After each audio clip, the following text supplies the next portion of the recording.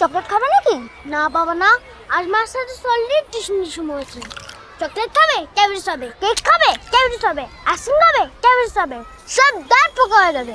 ঝুম ঝুম ঝুম ঝুম রোজ সকালে টুথপেস্ট দিয়ে ব্রাশ করি। তাও। তুমি সকালে পেপসোডেন্ট দিয়ে ব্রাশ করোনি? ক্যাভিটিস নিয়ে কেন ভয় পাচ্ছ? আমাদের বেস্ট এবার পেপসোডেন্ট জার্মি চেক বারো ঘণ্টা জীবনদের সাথে লড়াই করবে এবং দাঁতকে ক্যাভিটি থেকে সুরক্ষা দেবে। দেখ দেখ দেখ আবার চকলেট খাচ্ছে। সবসময় করবে তাই না